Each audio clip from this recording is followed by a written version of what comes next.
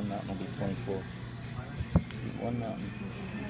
Yeah, I don't think Converge would be very good. What do you think about this guy? He's I don't going like up him. in price. He's go. I don't. I have no idea why. He keeps going up in price. Like I don't know why because he doesn't seem that good to me. Allies were pretty bad. Yeah. You get any drainers? He's Two of them. skyrocketing in price. And that's my favorite card. It's a beating. It's just a one card beating. Like if it didn't pump herself, like when I first read it, I didn't read it as oh she pumps herself too. But she pumps the team at first strike, Yeah, so pumps before the they do and then they get pumped, and then they'll deal. They'll come. They're coming damage I think it's just very good. The first strike is what makes it. What would you have been like if you didn't get the expedition? Would you have been like, oh, I'd have had a foil Ulamog still. It'd be alright.